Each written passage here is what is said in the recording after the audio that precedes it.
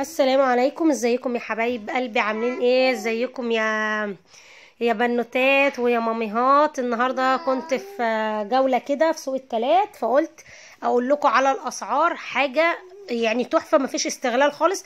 أي نعم هو سوق شعبي جدا جدا جدا فوق ما تتخيلوا. بس هتلاقي فيه كل حاجة كل حاجة. بص في الملايات اللي هي الأورجانزا دي اللي فوق دي المتر منها ب 25 جنيه.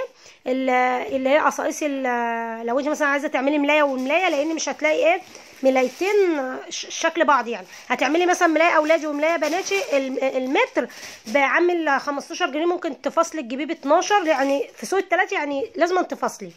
واللي هي الملايات اللي هي المشجرة دي اللي هي الأطفال دي كانت عاملة حوالي 17 جنيه دي 3 دي أطفال يعني. وفي هنا القماش اللي هو بتاع الستاير ده اللي هو التقيل ده حلو جدا جدا عامل حوالي 25 جنيه أو 20 هو حسب إن هو يكون مثلا مش عارفة بيقولوا متر العرض عرضين أو حاجة زي كده.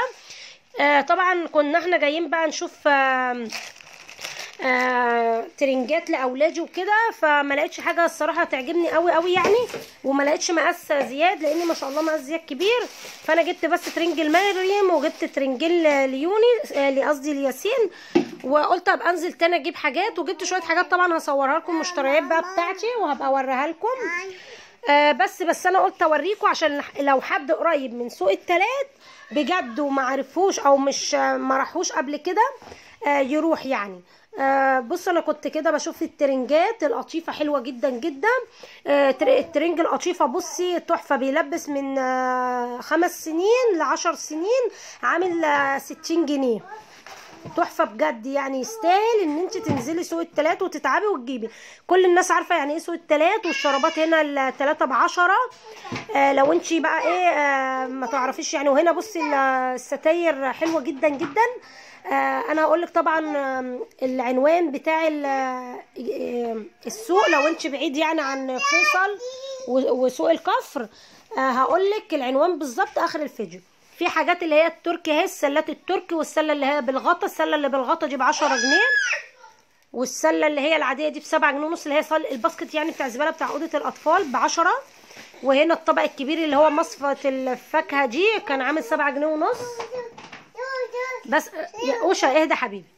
وهنا بقى في الشامبوهات دي بس أنا مش معرفش ما, ما جبتهاش قبل كده. برضه بيبيعوها أسعارها حلوة بس بأمانة ما جربتهاش. آه يعني في حاجات كتير تحفة. لو أنت مثلا بتجهزي نفسك لو أنت بتجهزي نفسك أو كده في حاجات حلوة. هنا ده الصيني ده ده صيني آه اللي هو استراد حلو جدا. الطبق منه بيعمل سبعة جنيه ونص بس طبق طبق يعني ممكن تعملي مثلا طقم صغير كده. ودي بقى الفناجيل دي برضو كل حاجة على الأرض. يعني هو سوق أنا قلت لكم قبل أي كلام هو سوق شعبي جدا جدا جدا. آه المج هنا بقى بيبقى بخمسة جنيه وبتدوري انت بقى على اللي فيه شرخ بتدوري على اللي فيه أي حاجة ما بتشتريهاش. هنا بقى دي أطباق وصواني الموتيل بجد ده من أنضف الأماكن اللي ممكن تجيبي منها الأطباق والصواني الالموتيل حلوة جدا وأسعاره حلوة جدا وكل حاجة ليها سعرها. هنا بقى أنا بشوف الحاجات اللي هي التركي اللي هي بقى حاجات المطبخ الرفايع دي. حاجات حلوة جدا جدا. آه في بقى يعني جميع الأشكال وجميع الألوان وممكن تجيبي بقى إيه آه بصوا يعني آه كل حاجة موجودة وفي حاجات تركي بقى ورخيصة وعلى القد وفي الحاجات بتاعت الكب كيك وفي كل حاجة وكل حاجة أسعارها حلوة. يعني الراجل ده كان بيبيع كل حاجة ب 10 جنيه كل حاجة بسبعة ونص حسب الحاجة اللي أنت بتجيبيها. يعني الحاجة ما بتغلاش أكتر من كده.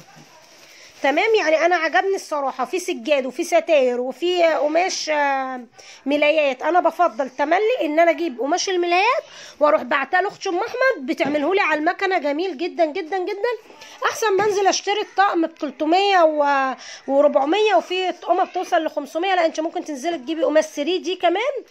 المتر بتاعه يوم ما يضربوا الدم ويبقى غالي قوي قوي ب 30 ب 35 هتعملي ملاية مش هتكلفك 100 وحاجة بس هتبقى ملاية على ذوقك وهتعمليها بنفس المقاس مش هتجيبي بقى الملاية وتفضلي تشدي كده على المرتبة عشان تيجي كبيرة لا تيجي صغيرة لا مثلا الكيس ضيق الكيس واسع انت يعني أنا أختي ما شاء الله عليها بتيجي البيت عندي تقيس لي المخدة بتقيس لي المرتبة وبتشوف الزيادات اللي هتخش تحت المرتبة عشان طبعا الأولاد أما بيطلعوا ينزلوا على السرير بتنزل بتشوف لي مقاسات وبتعملها لي بالظبط.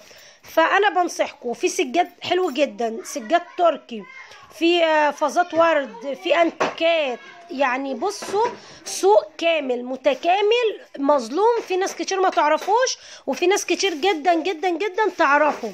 سوق التلات يا جماعة ده يا حبايبي اللي في سوق الكفر. سوق التلات ده كل يوم تلات في سوق الكفر بتلاقيه. حاجة كده اللهم بارك. اللهم بارك هيعجبك جدا. شوفي بقى آه في كل حاجة. بصي ما شاء الله على الذوق والرقي اللي فيه. في كمان هدوم حلوة جدا. هدوم خروج للبنات بتوع الجامعات وكده بس آه، بأمانة الله ولا سينيه بقى ولا الكلام ده. لا الحاجات اللي هي العادية خالص. يعني شنطة زي اللي أنا كنت ماسكاها دي خمسة وعشرين جنيه.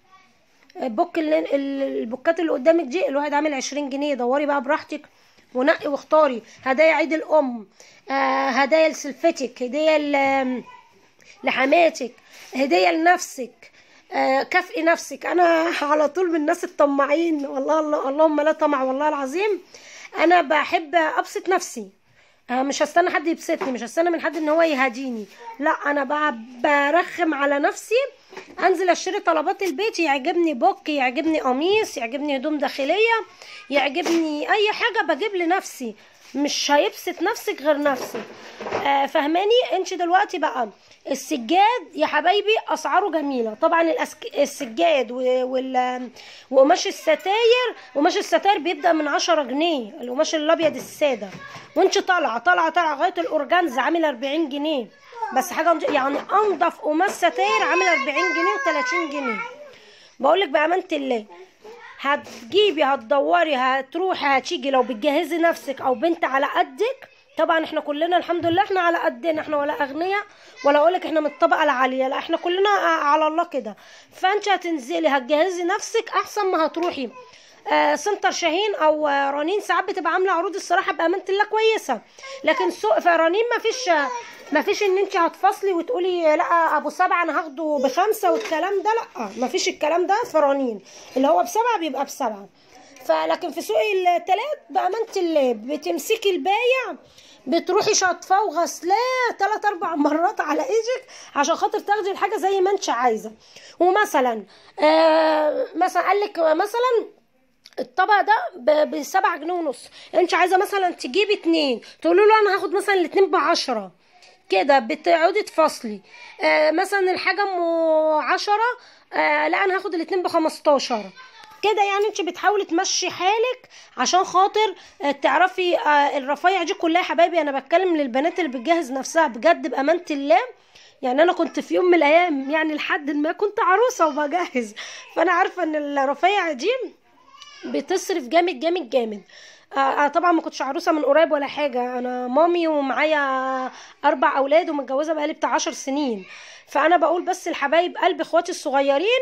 بجد يا حبيبة قلبي لا, لا يكلف الله نفسا إلا وسعها. ما تكلفيش أهلك. ما, ما يعني إيه مش كل شوية لا أنا عايزة دي وعايزة دي وعايزة عايزة أجيب حاجات من محل مش عارفة إيه. وصاحبتك تقول لك تعالي نجيب مش عارفة من center إيه. صدقيني بجد كلها شكليات. هي هي نفس الحاجة. هي هي نفس الجودة.